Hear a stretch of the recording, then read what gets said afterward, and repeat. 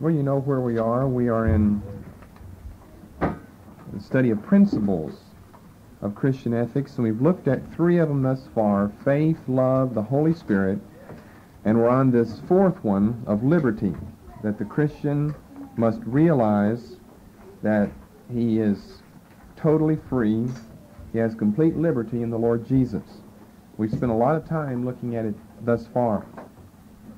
And we got down to some statements from the negative side of Christian liberty. In the first place, our liberty is not to sin. Mm-hmm. And secondly, our liberty is not to cause others any harm. And I said there would be two points under this.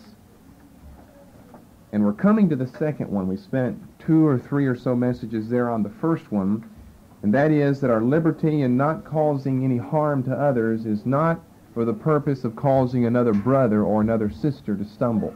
And so he did a big discussion of the stronger one versus the weaker one. Now, you don't have to write all of this unless you just want to because we've given it, but I want to say these statements over again.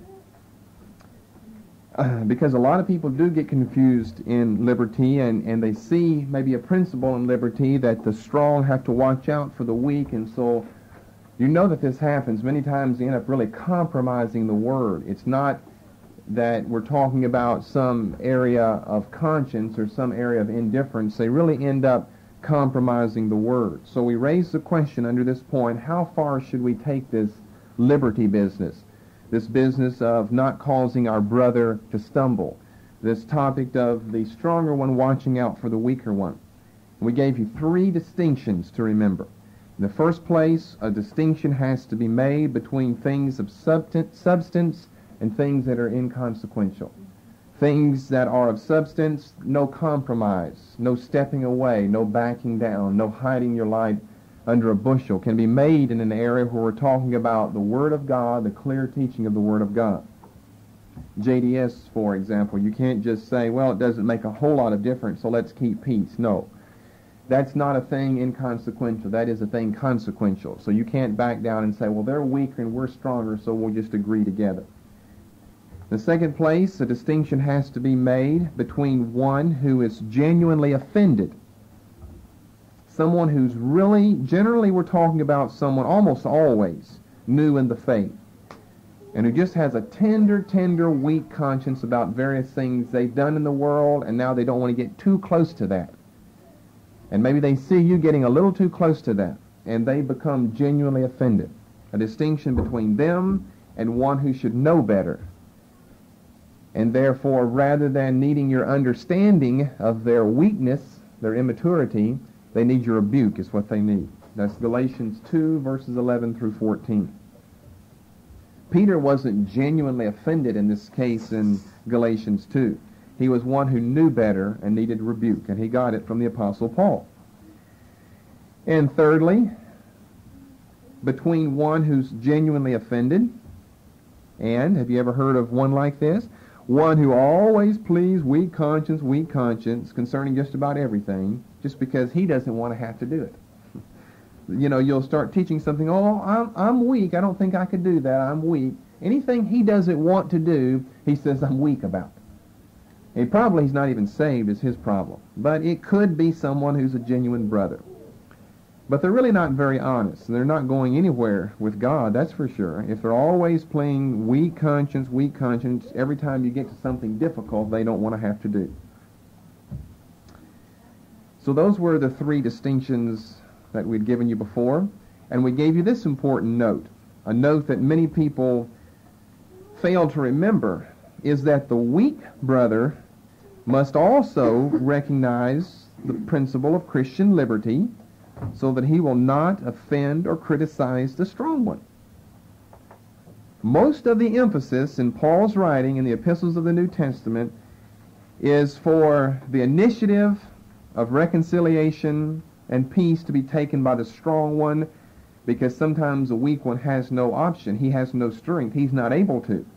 But there are times where we find a reference, such as 1 Corinthians 10 and verse 30, where Paul says, now let's just keep a balance about these things. You weak ones, we're not going to, we strong aren't just going to always condescend to you weak ones. You weak ones, keep in mind that some of us are strong.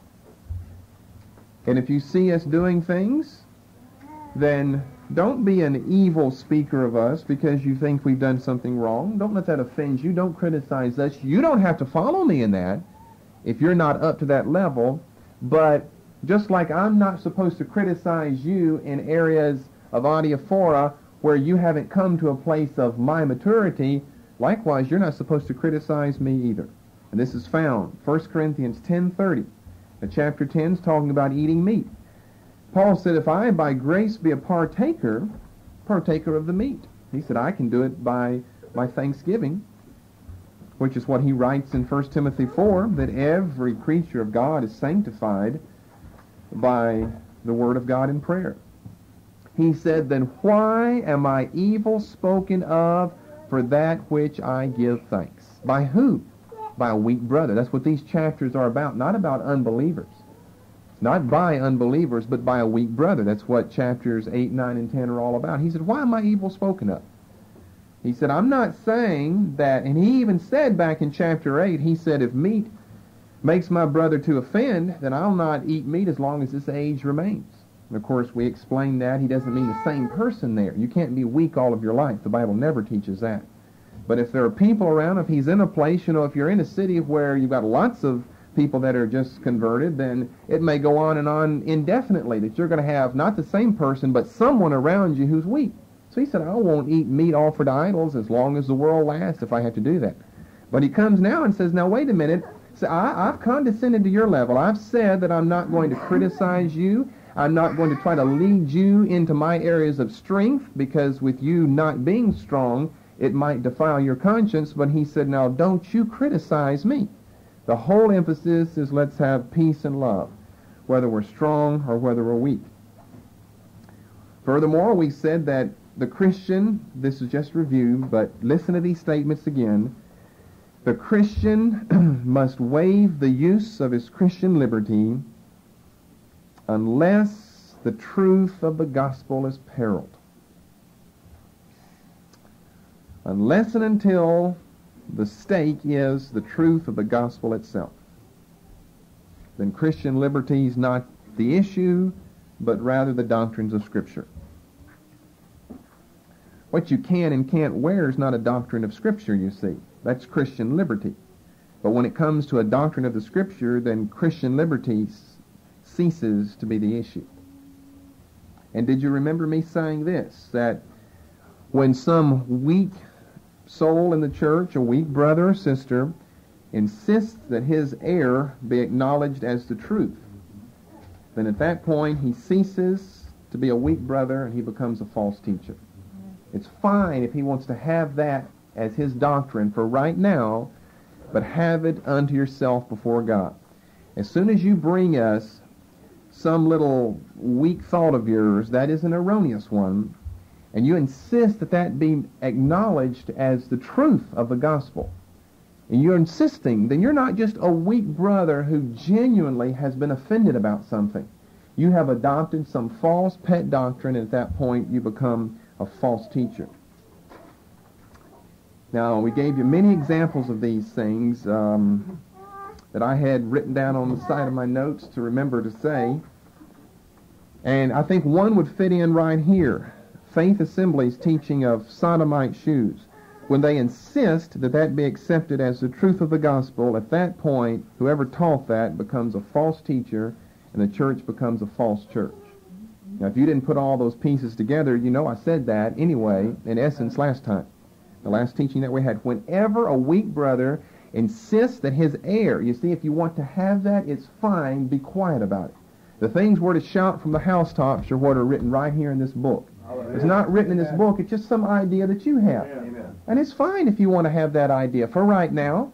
But when you insist that I have that idea, and it's not an idea based on the Word of God, you cease just to be a weak brother. Oh, you offended me, Brother Ross, because of your statements about sodomite shoes, because I used to be a homosexual, and I just, I'm real tender in that area. Well, I would never wear them as long as the earth stands around you. But we're not talking about people like that. We're talking about people who just pick that up and made it into a doctrine and insist that we accept that as part of end time truth, as part of the revelation of the Word of God. At that point, you're not, you cease to be a weak brother. Of course, that, at that point, you never were a weak brother. You were just someone who got a weak doctrine, which is a false one, and insisted that we acknowledge it as the truth. At that point, the Word of God says, the Apostle Paul teaches that is no longer a weak brother. That is a false doctrine. That is a false teacher. That is a false church. That is a false group of people. At that point, when you've adopted that. So we don't hesitate on saying. We have to say what the truth is about this. And any of these things, anything in this church, anything in any church where you picked up something that's not in the Word of God, and you make that out to be something in the Word of God, you're not just a weak brother that we offend because of uh, sodomite shoes or prostitute purses. You cease to be a weak brother and become a false teacher at that point. And so that's one of the things that we make a distinction on. We don't just keep on going, well, it's okay, it's okay anyway. It's okay as long as you don't want to force that doctrine on others. And secondly, it's okay as long as you don't hold that over six months or a year. You know, it's good to have, and if you're a strong one, you can do this.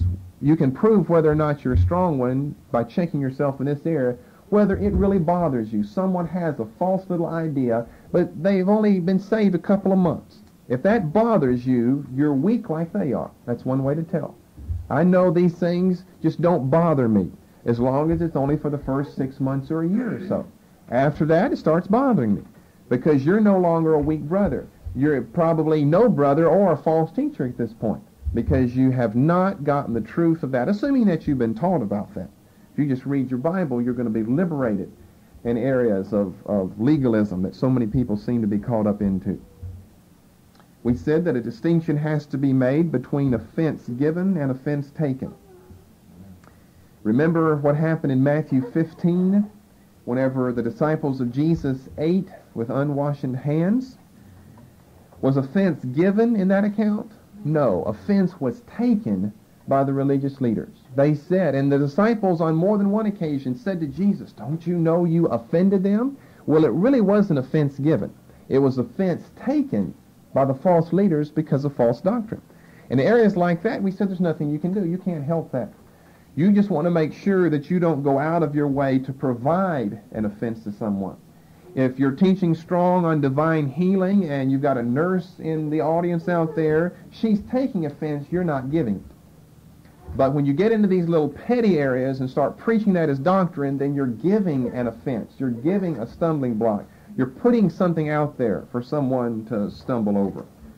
Medical science, going to doctors, not going to them, is not in the same category, you see, as whether you eat meat sacrificed to idols or not. They're two different categories. One is adiaphora, it doesn't make any difference. One, it makes all the difference in the world. One's based on the atonement. The other one, you can eat meat, not eat meat, eat vegetables, not eat vegetables. It's no big deal. Okay, I think we covered that thoroughly enough. Now let's come to uh, the second point under this second statement. Our liberty is not to harm others. The first place we said it's not to cause a brother to stumble. In the second place, we should not bring the reproach of unbelievers upon the church via our practices and principles of Christian liberty. The Old Testament teaches don't dig a ditch before the blind man.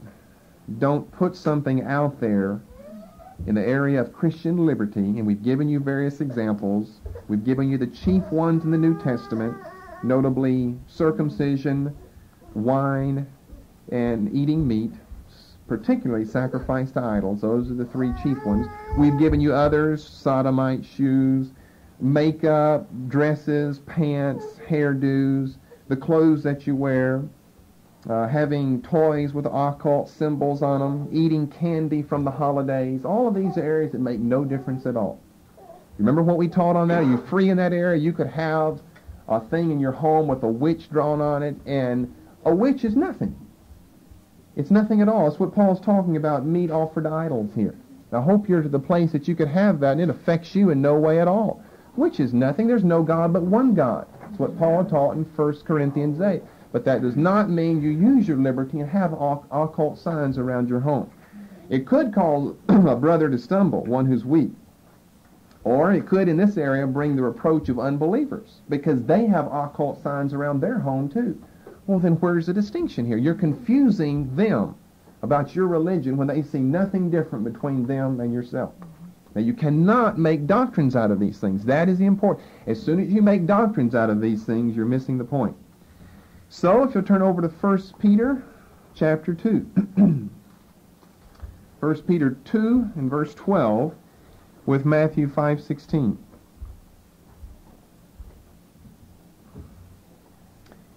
Peter says, having your life honest among the Gentiles, that whereas they speak against you as evildoers, we'll see this again uh, in the next chapter in his book here in a moment. Uh, they speak against you as evildoers. He's not saying that they are evildoers. But I've had, you know, people criticize me because I believe that Jesus is the Son of God, because I believe in going to church, because I believe in reading my Bible. All you do is just read your Bible and, well, they speak against you as evildoers. He didn't say that you are. They may by your good works, which they shall behold, glorify God in the day of visitation. Hallelujah. So that you're no reproach to unbelievers around. And in Matthew 5 and verse 16, Jesus said, Let your light so shine before men that they may see your good works and glorify your Father which is in heaven. so our liberty is never to cause reproach from unbelievers. 1 Peter 3.16 1 Peter 3.16 having a good conscience that whereas they speak evil of you as of evildoers, they may be ashamed that falsely accuse your good life in Christ. It's all false accusation. Then he says in chapter 4 in verse 15 that if you suffer, then don't suffer as an evildoer. And he lists evil deeds there. Titus 3 in verse 8. This is a faithful saying. And these things I will that thou affirm constantly, that they which have believed in God might be careful. You have to be very, very careful with your life, where you are, and the people that you're around. To maintain good works these things are good and profitable unto men. And then a verse that particularly it would apply to someone like myself would be 1 Peter or 1 Timothy 3 and verse 7. We've just seen it though in 1 Peter that it applies to all of us. But it just happens to be brought out here in particular for a pastor. 1 Timothy 3 7. And look at this. Moreover, he must have a good report of them that are without. Probably he means without the faith, without the church. Now, he doesn't mean like some people interpret this, well, I'm good friends with this political contributor and I'm good friends. No, that's not a good report. But to have a good report, you can't be teaching and you can't yourself, if we're talking about you, be living in an area and those that are without know that, well, you know, he owes me money. He never paid his debts. He cheats. He lies. He does all these things evil against me. I'm without the faith. I'm an unbeliever. Well, you're gonna. What's going to happen? You're going to bring reproach on the church and Christianity. He must have a good report of them that are without, lest he fall into the reproach and the snare of the devil. So in these areas of liberty, we've enlightened you to many areas where you do have liberty, uh, in short, in all areas, you have liberty. We haven't covered every aspect of that, but he said that I'm free to do all things, once in 1 Corinthians 6 and once in 10. Of course, all things doesn't mean to sin, though. He means all things that you're free to do, you're free to do. And that's really not just making a circle in the statement, because some people don't realize how free they really are. But that doesn't mean that you always use your freedom.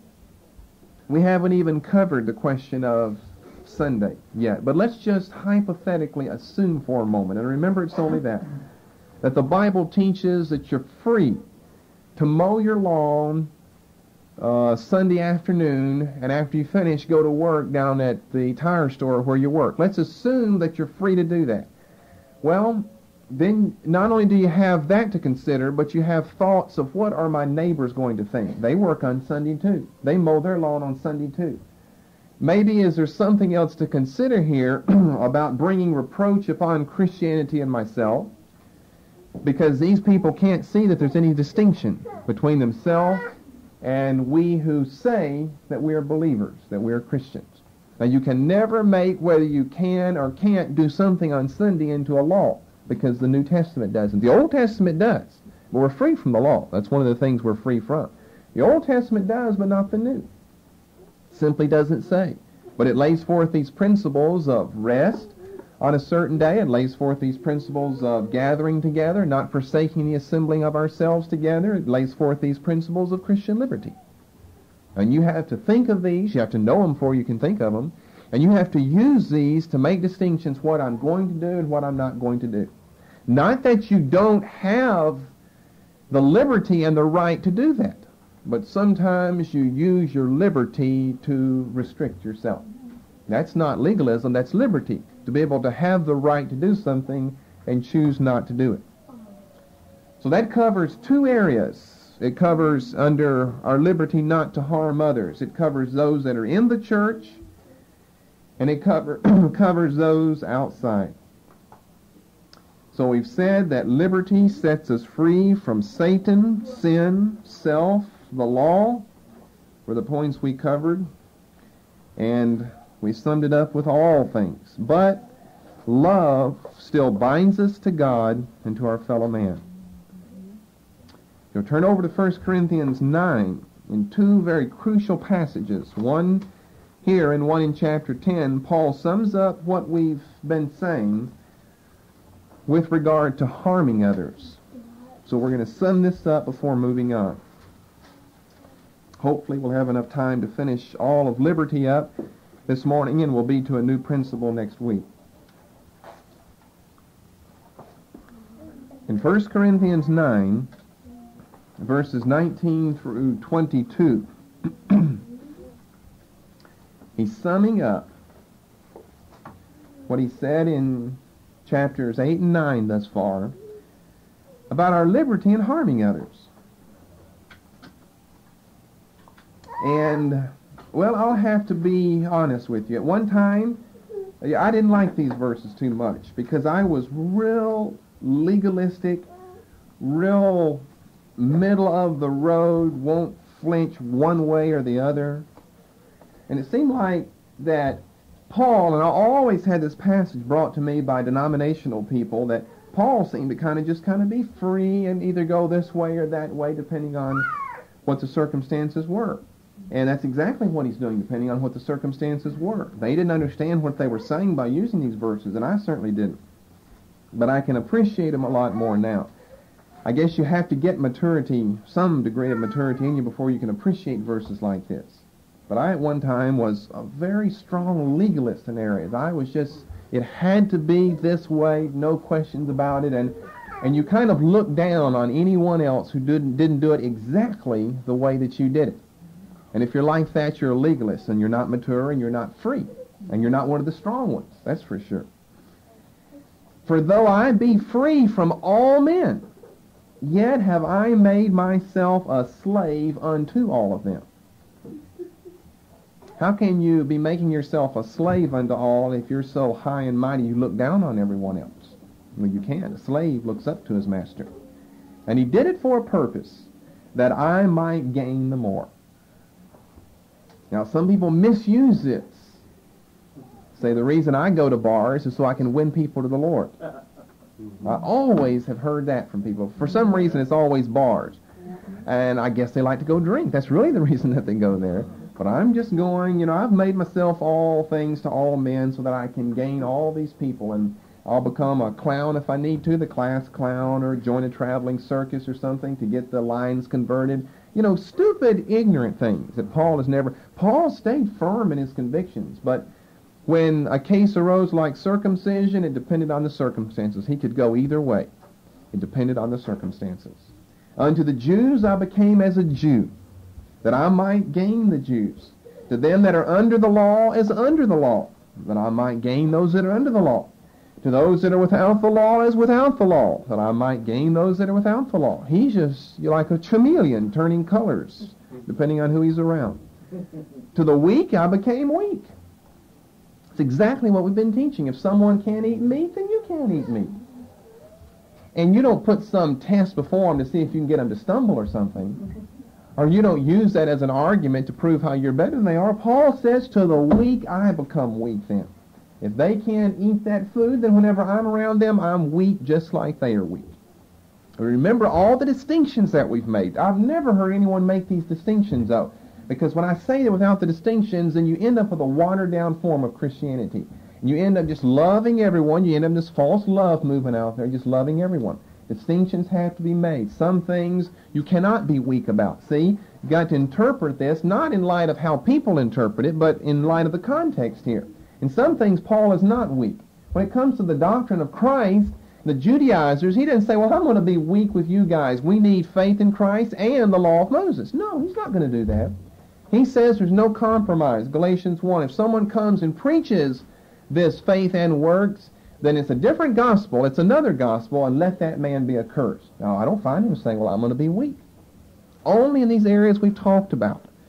Eating goodies from the holidays. That's an area where you could be weak or strong depending on who you're around. When I first came into the truth about the holidays, man, I thought the devil was, well, Santa Claus. I thought that's the devil. And to eat a Christmas cookie would defile your conscience because it identifies you too much with this pagan holiday and pagan feast. But now I can eat them. They taste good. They're sweet. I'm glad I can eat them now. And so if I'm out at a store and, and no one knows me in that store, and they've got a little tray over there serving up Kool-Aid and Christmas cookies, I'll go grab a few of them there. Not if someone knows me now, maybe, because maybe that would affect their comprehension of my beliefs in Christianity. But especially whenever I'm traveling in another state, no one knows you, you can do pretty much as you please then within your Christian confines zone. If they have Christian, I mean, if they have Christmas cookies there, then they're Christian cookies as far as I'm concerned. Whatever I eat is Christian because everything I do is supposed to be a Christian thing that I'm doing. Uh-huh. So it bothers me not at all. But you have a weak brother with you, then you say, look at that occult stuff over there. And he just says, that's right. Praise God, we're delivered. And you say, praise God, we have the truth about all of this occult demonism. That's exactly what you do. And you encourage him because he's just come out of that. You don't want to make him go back into that, you see. Just what Paul is teaching. They've just come out of idolatry. Now, don't eat meat offered to idols. You're going to take them right back into that. So you agree with him. To the weak, you're weak. Only in certain areas. Only in certain areas. And you should be taught enough now, if you'll sit down and think, you'll know when you come to the area, is can this be a weak area for me? Or is it doctrine from the Word of God? Then there's no compromise.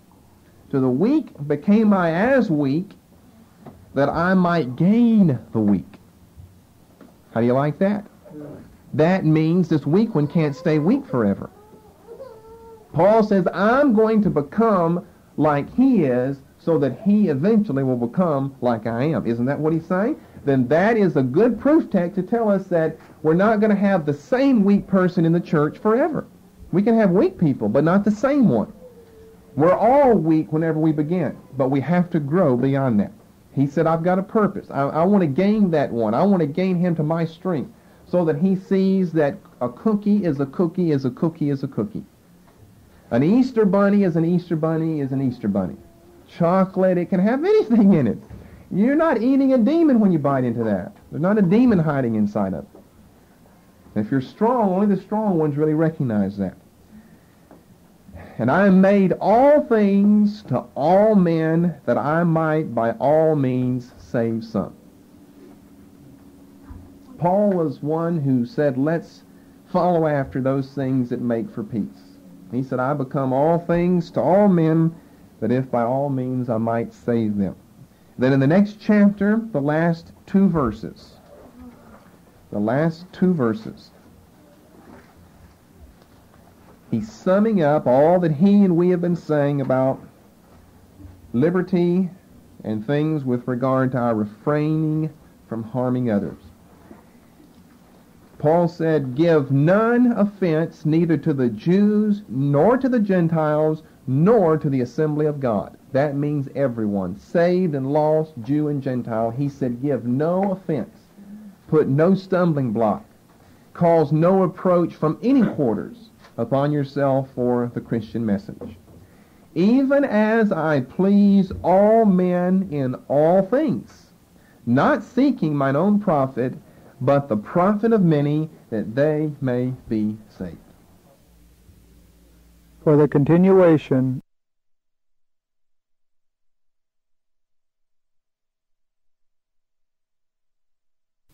even as I please all men in all things, not seeking mine own profit, but the profit of many, that they may be saved.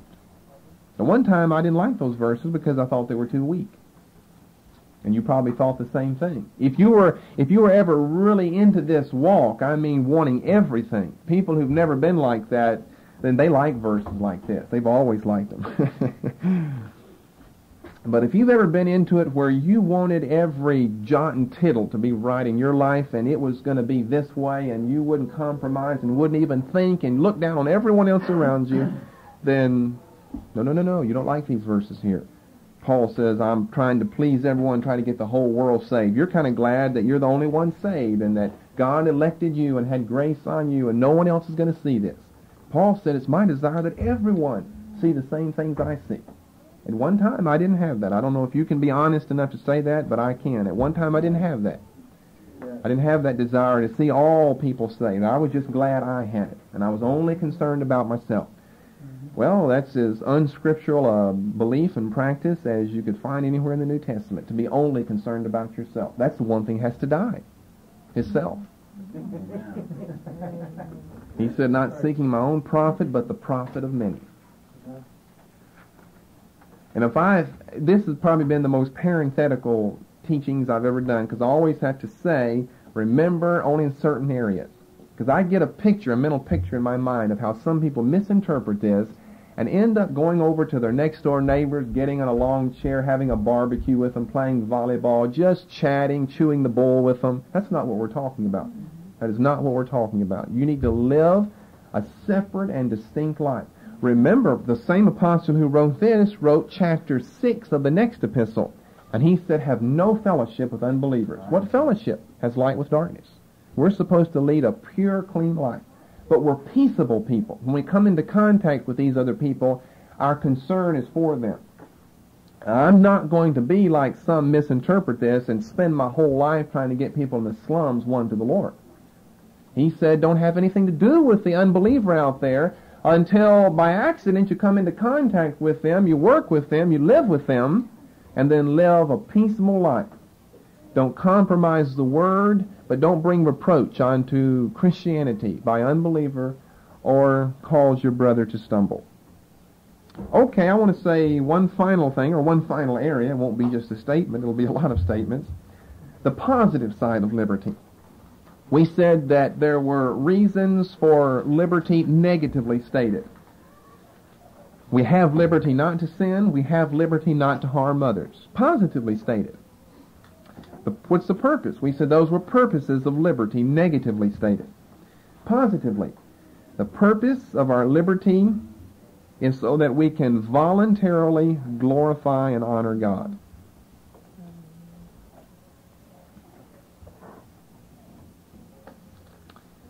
The doctrine of forgiveness may not be used by the Christian as an excuse for laxity or sin. Well, God will forgive me. Well, He will.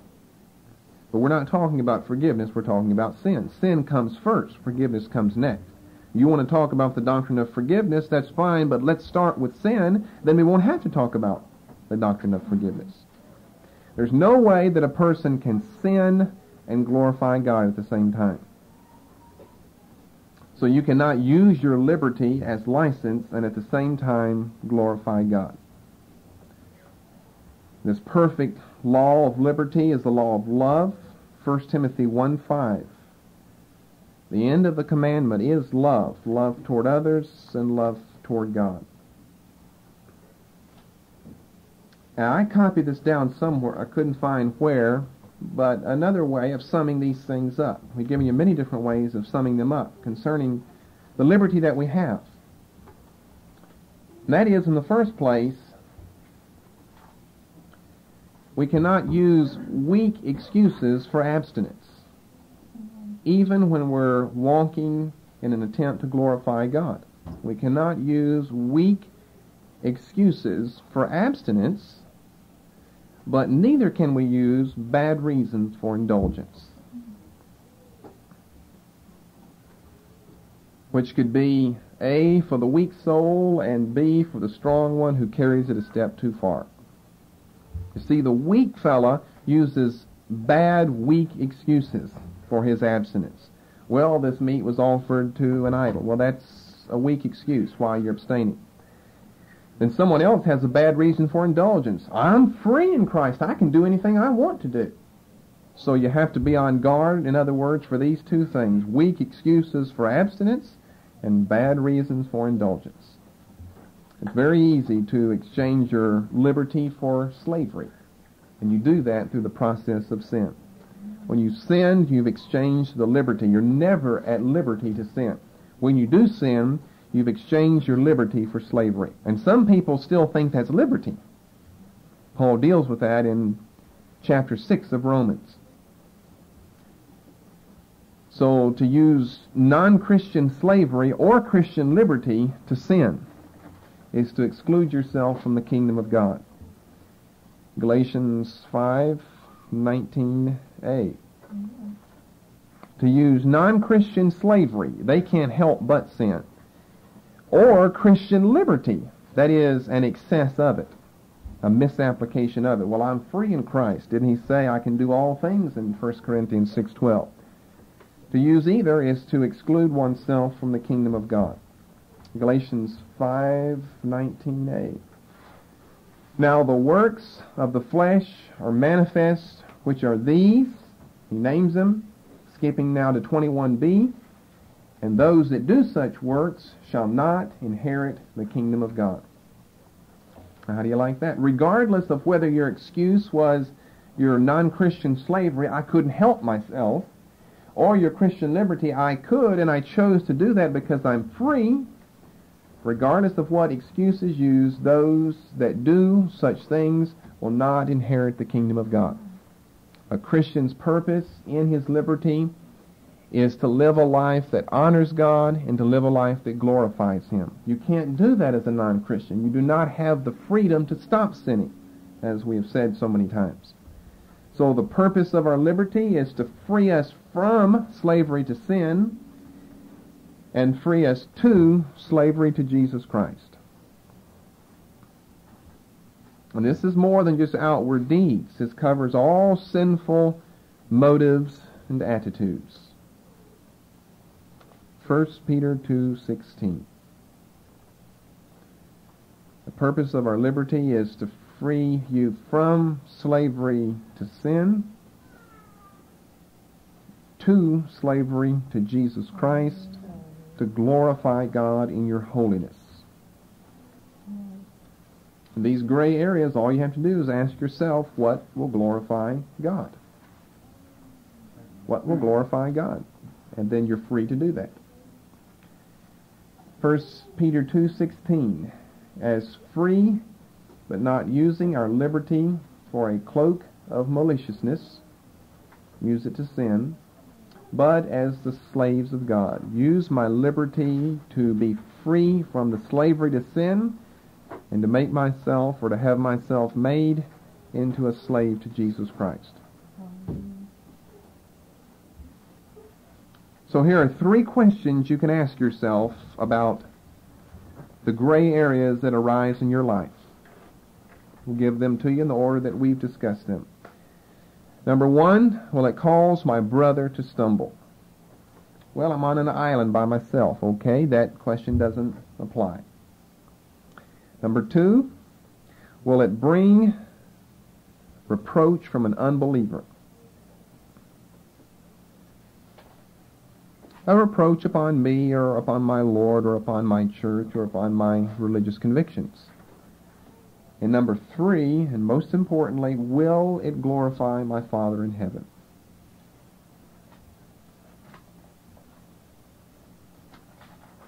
When we get into some of the specific areas, we'll show you more how it actually can be a glorification of God, but not a glorification in as outward and positive sense as you're lifting up your hands and your voice and praising Him in new tongues or something.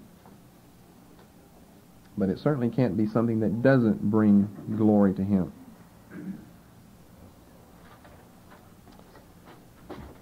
So, Romans 14 now. Romans 14.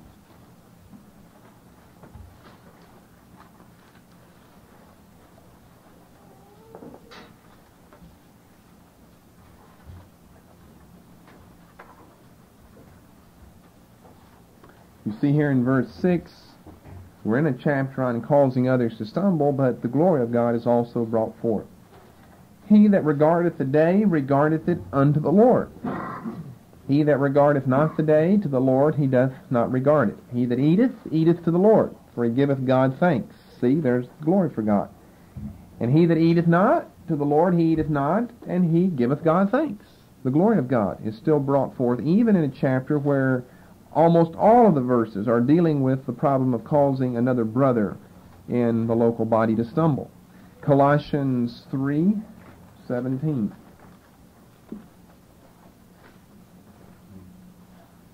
Colossians 3:17 And whatsoever ye do in word or deed do all in the name of the Lord Jesus. Now how could you sin in Jesus name? Giving thanks to God and the Father by him. It's a positive side of the question of the exercise of your Christian liberty say, well, what about in these passages that we've been talking about? Well, he's summing it up with that way, and it's found there, 1 Corinthians 8 to 10. It's found here. That's where it's repeated. You'd have to, you'd expect that you'd have to find uh, a reference like what we find in 10:31, 1 Corinthians 10:31. Whether therefore ye eat or drink or whatsoever ye do, do all to the glory of God. And we do find it. That's why I'm drawing this out of these chapters as the positive side of the principle of Christian liberty. Whether you eat, whether you drink, that's basically what he's been talking about, or whatever you do, in any area, in every area. All your life long as a Christian, then do it all to the glory of God. Now, in conclusion, let me say a few more things about strong brothers and weak brothers, and we maybe will finish in a short time then this morning. I could have elaborated more, but I feel like I repeat too much because we've elaborated on that so often before. Some of you may feel like you're strong out there. So here are two pitfalls to watch out for if you think you're a strong brother or sister. And you've probably fallen into these before. We're not immune to these automatically. And I guess, well, if you're really strong, then you've probably fallen into this first one. And that is, be careful of overly reacting to the weakness or to the immaturity of a weak brother so that your overreaction carries you into questionable or objectionable, objectionable areas. You can become so distraught over some weak brother's immaturity that working the gears inside you are working in such a way you say, well, I'll show them a thing or two. Just watch what I can do. And then because of your overreaction, you go too far and you actually sin in your strength. Now, it is a pitfall. Now, if you're not strong, then maybe you can't appreciate what I'm saying. I can appreciate that. You just become so disgusted with someone else's weakness or their immaturity, then you overreact against that. when you overreact, you go beyond the limits that you should go. And you get into areas where you sin. And you're weak just like they are when you do that. So that's something I don't think that I've mentioned before. The second one I have, it's still a pitfall, but That's one I haven't mentioned before. Be careful of overreacting. And this only applies to people who are strong, who are really the ones wanting to go all the way. And sometimes you can pick up that mentality. You become so disgusted with other weak people around you, you go too far in your own life. Trying, you're not trying outwardly, or you're not thinking, I'm going to prove this to someone, but that's what happens in the back of your mind. You're trying to prove a point. I'm strong and I cannot believe this person is so weak. Then you go too far. Then secondly, another pitfall is for the strong individual to exercise their liberty in such a way that it leads the weaker one into sin, thus defiling his conscience. Sin to him, not sin to the stronger one, such as eating meat offered to idols. I just heard someone say, not here, but somewhere else not long ago, Oh, now, don't give us in this business that something could be sin for one person and not sin for another. What's wrong is wrong to all of us. That's not a true statement. Paul shows what can be sin for one is not necessarily sin for someone else. Eating meat offered to idols will become a sin for a weak brother because it defiles his conscience, and we even read there that he could perish, the one for whom Christ died. That's pretty strong language in the end of 1 Corinthians chapter 8. So you would exercise your liberty like doing these things, like eating the meat, like doing these various uh, particular things that we've mentioned. You could do that in front of a weak brother. This is the pitfall to avoid in exercising your Christian liberty because it could lead him to follow you and do what you did, and he's not ready to do that. And when he does, then it defiles his conscience. Two pitfalls. The scriptures teach that the church is always going to have both weak and strong members in it. Romans 14 is all about that. Romans 15 starts off that way. Again, those of us, when we first got into this, kind of didn't like to recognize these facts. And they are facts. There's nothing you can do with facts but accept them. The church of Jesus Christ will always be made up of both weak and strong brothers and sisters. Do you believe that? You're quiet. Do you believe that? Well, that's what the Bible teaches. It'll always be made up. I mean, we could wish it would be some other way, but wishing and facts are two different things in this area. It's always going to be made up of the weak and the strong one. Romans 15, we then that are strong ought to bear the weaknesses of the weak. Why didn't he just say, well, bless God, why don't you get faith in your heart? Get in the Word of God, you weak people stop coming to church until you are strong. Your approach on the church and Christianity. Paul doesn't teach that way. Paul doesn't teach that way. All of these legalisms that people have invented. I think we started off way back in the beginning here in talking about liberty that uh, fundamentalism is known as that aspect of Christianity that's a negative, can't do, aspect. I don't wear makeup. I don't go to the movies. I don't watch TV. Uh, I don't do this. I don't do that. It's always I don't don't. Presented with the attitude that if you keep your nose clean, you'll be pleasing to God. That's really what it amounts to. If you'll live a good life and don't do certain things, you'll be pleasing to God. We've said before that the lost man can abstain from things like that, which doesn't prove anything at all. And I can say this, which is really what we've been saying all along. It comes out in these teachings that when you find a church, when you find a group, when you find a Christian person who is a negatively oriented person, it's always negativism from them, then that's the same bondage of legalism we've been talking about here that characterizes fundamentalism out there, the non-charismatic element of fundamentalism. It characterizes some parts of the charismatic movement where it's always negative, negative, negative, negative. And when you find that, that's a false presentation. At that point, it's not a Christian church. The church is positive. We saw that. Well, we saw that, remember, here in chapter 14, verse 17. We preached a lot on this. The kingdom of God's not in TVs or magazines, but it's in righteousness and peace and joy in the Holy Spirit.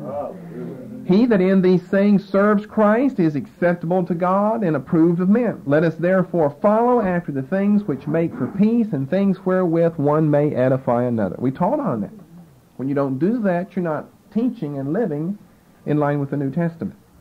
We that are strong ought to bear the weaknesses of the weak. He doesn't say here there shouldn't be any weak ones. And some people would like to have it that way. You know, this is the church of Jesus Christ. Well, it was at Rome too. Let every one of us please his neighbor for his good to edification. For even Christ pleased not himself, but as it is written, the reproaches of them that reproach thee fell on me. Then over in Galatians 6 and verse 1, we have the same teaching. The church over here in Asia Minor had weak people and strong people. And Paul didn't say there's anything wrong with having weak people there. Galatians 6 and verse 1. Brethren, if a man be overtaken in a fault, ye which are spiritual, you can see that this is the strong, weak contrast here in this verse. Restore such an one in the spirit of meekness, considering thyself, lest thou also be tempted. Bear ye one another's burdens, and so fulfill the law of Christ, which is the perfect law of liberty, which is the law of love, by bearing one another's burdens. However, after saying that, then let me say this. Although the church, our church, this church, any true church is always going to be made up of both strong and weak people, the weak people are never the same ones from year to year. Mm-hmm. As long as you know that, then really you have no problem with this strong and weak business. I have no problem with that. Only problem I would have is that we have the weak people, the same ones, year after year after year. Never teaches that. Never teaches that. You know what's the whole New Testament about? About growing up, growing up, growing up. And how can you grow up to some place if you never if you if you never were weak sometime in the past in your life? You've got to grow from somewhere to somewhere. You had to be weak at one time in your life in order to grow from that. But the weak ones can never stay the same weak ones year after year after year. We have no problems in this church having weak people in. Weak people that are members, weak people that are in good fellowship with the church, as long as they don't stay weak, as long as they grow.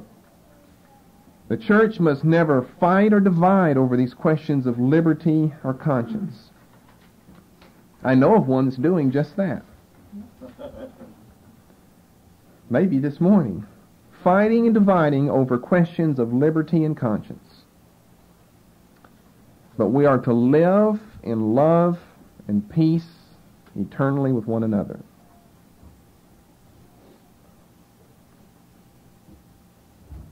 Now that is a major doctrine of the New Testament with regard to the composition of the church other things that deal with other things. The atonement's not a church doctrine, that's for you personally. But we would have no need of Christian liberty and all these teachings if you were an island unto yourself. You can have atonement, you can have some of these other major doctrines all by yourself. But I'm saying this doctrine of Christian liberty is a major, is one of the major doctrines. Maybe, maybe it is the major doctrine. I just haven't sat down and thought of all of them that relates to the church, her operation, her composition, her administration, and the functions that she has, is this doctrine of Christian liberty. You know, they weren't perfect in New Testament days. They're always fighting in the churches over little petty things. We looked at one example, I believe, in Philippians 4. Paul wrote to two women. He said, Be of the same mind in the Lord. Must have meant what they were arguing about. We we're not told, by the way, but was not anything significant. He said, Be of the same mind in the Lord. Why does he write all that? Philippians 2, he said you should live your life without murmurings and without disputings. Generally, you're murmuring and disputing over these little icks and isms that we all have personally. We're not fighting over the doctrine of the atonement. Have we fought over that? No. What have we fought, fought over in this church? These little things I've mentioned about cookies and toys and Sunday and meats and things like that. I know what I'm talking about. The Bible teaches this. We don't fight over the major things. We fight in the areas of liberty. We have fought. Let's make a good confession. We shouldn't fight anymore once we know this. Fights have arisen over whether you put powder on a baby's bottom or not. Areas of Christian liberty. So that's why I'm saying if it's not the, it's one of the top areas that we have to all understand to be a functioning, good member of this church or any church. And you ought to know this now from all of these teachings. And they're going to be new and different areas come up. We can't foresee the future and what new thing is going to happen or new thing is going to come up. But principles never change. Principles never change. Only the objects under discussion change. Now we're going to switch to a new topic. But the principle is still valid there. You have to make the distinctions that are correct. You have to, regardless of anything, the Bible says love is the most important thing. So even if you can't come to agreement on everything, that's not what's important. What's important, the greatest of these, Paul said, is love. We have to live in love and peace with one another. Do you think that you've changed in that area, let's say in the last year? Amen. You've gotten to the place that you're easier to get along with. You're not so hard-headed, hard-nosed, dogmatic about every little thing. That you can live in peace and not go home condemning in your mind someone else who does something a little differently than you do. I hope you've gotten to that place. These are tapes to hear again, notes to go over again. It's in the Bible, but you're, you you would not have gotten that just in reading 8, 9, and 10 in 1 Corinthians, though. Not these principles and not the way that we're taught to apply them. But it's all there. You can see that now. They had certain things in that day, you know, meat offered to idols. I told you before, we don't have that problem now. So you see, the problems change, but the principles are always the same. Now we have other things. Now we have, you know, is it all right to, uh, we gave you this example when you're looking for news station on the radio in the car to turn over to a rock and roll station. Some people couldn't do that. Just couldn't, that'd be wrong for them. That hear that beat and start tapping their foot. For me, I never was caught up into all the music. For me, it'd be fine. It's not going to bother me. I mean, it could if you listen to it too much. There is the satanic beat. There's no doubt about that. That can even affect the strong ones. But you have the liberty to turn there and pause 10 seconds to see if it's going to come news on after that or the weather or something. But a weak one, you don't want to do that with a weak one. And the same is true with all of these other areas. The same could be true with sodomite shoes. Same thing. Our problem is people have tried to insist that that be a doctrine of the church. Then we said, you're a false brethren.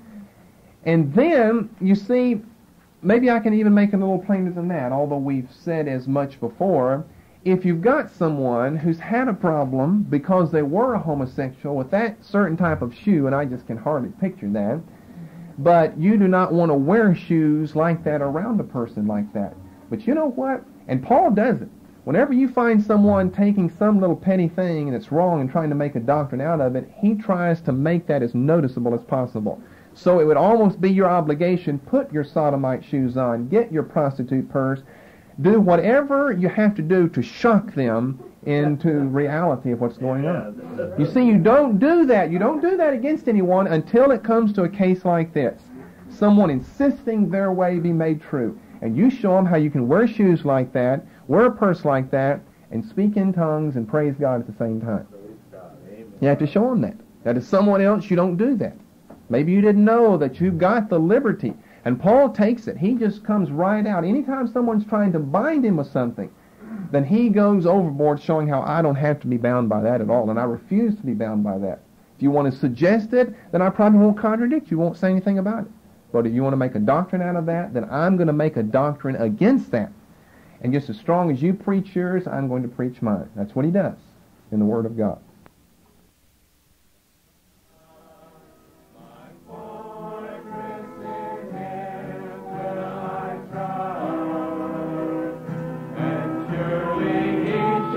never ends.